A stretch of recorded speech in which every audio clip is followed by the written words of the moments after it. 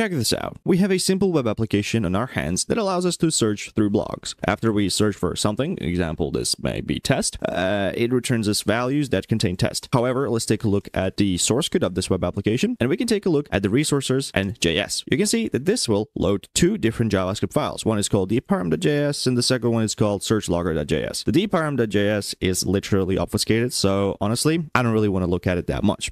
However, the search logger appears to be interesting. There are in total two different functions. One is log query, which apparently just creates a fetch functionality, which just sends a whatever we search to some sort of backend. And we can definitely verify that if we go to fetch.xhr and you refresh the page and you can see that this, you know, frontend will definitely make such a request. The search logger function is very interesting. It creates a config variable. However, it creates params then object or object which will hold a params key and the value of it will will be deparam the search whatever we search for. So literally this. After that, it checks whether there is a transport URL within this config, which obviously it's not, it's nowhere set. It's literally never set. So you will just skip this part. And finally, after it checks whether the params exist, which they should, it basically calls the log query and it passes the logger, which we see that actually occurs. So would you believe me that this is vulnerable to XSS and it's actually super easy. Well, I guess you're to have to see today's video to see how exactly can we pull that off. And maybe, just maybe, if you want to learn hacking,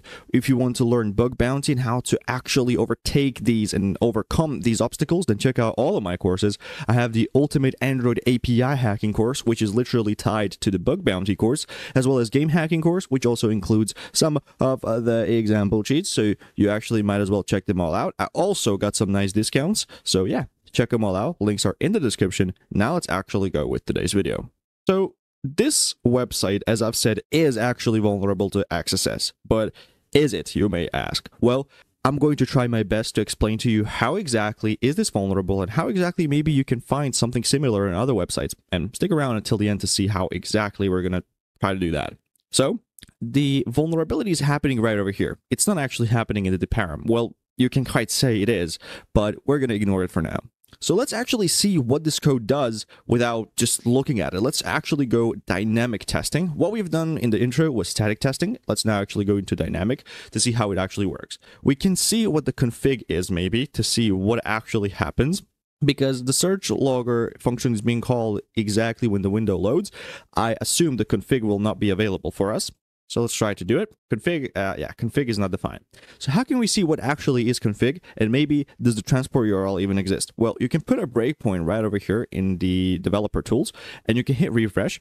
And as you can see, it will tell you that this has paused in debugger. And over here, you can already see what the config is in the in the variable in the local scope. So you can see that this actually contains search test, or you can go to console and literally type config and you can see what the params are. Uh, the params are search test. So there is literally nothing which mentions the transport URL. However, if we could get the transport URL here, then that would be amazing. And we could technically then create a new script, which will load our own transport URL. So our goal is to literally get to this, but how exactly can we do that?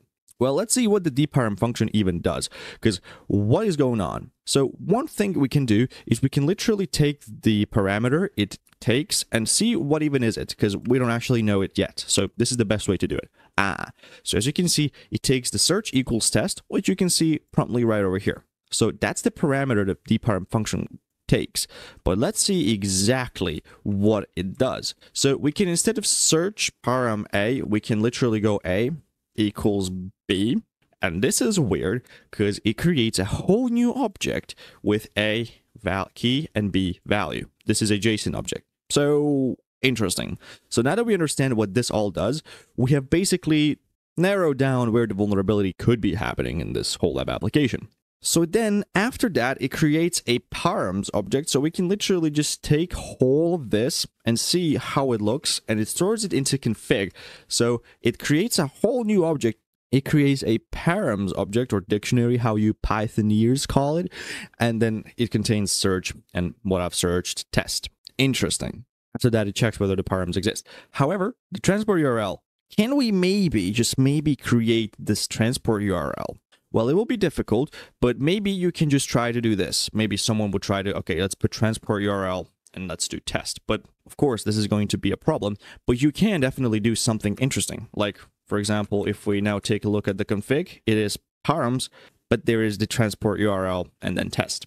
So something must be happening somewhere else. We oh, we actually had an error, but this is a WebSocket, so nothing interesting there. Okay, but what if we can pollute the prototype maybe? So maybe that's one of my ideas. So let's try to do dot underscore underscore proto. That's going to be really difficult to pull off. What if we can maybe, because this, this turns it into JSON, what if we can maybe do something like this, like A, A, B, so we can create a sub element of A. So let's try to do that and let's see what happens. Uh, okay, so this was caught in debugger. Ah, take a look at this. The config actually now looks params, then A, and then B. This is a weird JavaScript moment, but the dparam function was literally doing this. Okay, interesting. So now that we have all of the puzzle pieces, maybe we can just go with proto and we can literally pollute the prototype of this object, of the config object, so that it maybe the transport URL still exists, even though it doesn't.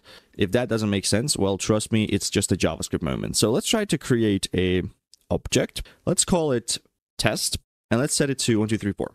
Let's hit enter. And obviously, now the config should look normal. Ah, see, the params are actually empty. But if we take a look at the prototype of this object, we can see test1234. And if we take a look at the prototype of the params or the config object, is also test1234. Interesting. So now if we go to config.test, uh, actually, we shouldn't do that, but uh, the, the, problem is we have to refresh the page because uh, the, the timing is very important. Config.test should re resolve to 1234, even though config is literally containing params and nothing else. So now that we understand that, we can go with transport URL, put it right over here, and let's just let it go to 1234. Let's hit enter. Let's continue. And we do have an error. And it tried to load 1234 script. Well, there we go. You can now basically host a script and execute alert one. However, if the website actually has a CSP policy, that's going to be a bit problematic. So what we can do maybe is just go data, like this and then execute, you know, alert one. Simple as that. Just like so. Pause and debugger. Config is empty. However, the config transport URL should contain my stuff, which we can promptly see. And if we continue, we see alert one pop up and we have solved this lab.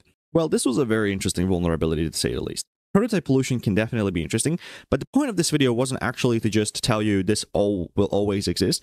I wanted to teach you something. I wanted to teach you the static and dynamic analysis of code and how important it is to understand how to dismantle the code, how to literally take the hood off and see what's going on behind it. Don't be afraid when you're analyzing code for J for XSS or anything like that to just copy stuff and be like, yeah, let's see, let's see whether this, you know, let's see whether this works. Maybe it doesn't, maybe it will. I don't know, but that's the point of it. And yeah, this also will work if I create another G object and this G dot transport URL will still, oh, sorry, as you can see, this will pollute this object. So imagine this, however, you actually remember on my channel that you can use JavaScript to host or Node.js to create backend applications. So imagine this on the backend. Well, if you want to see something like that, then leave a like on this video. Stay safe, stay responsible, and as always, peace.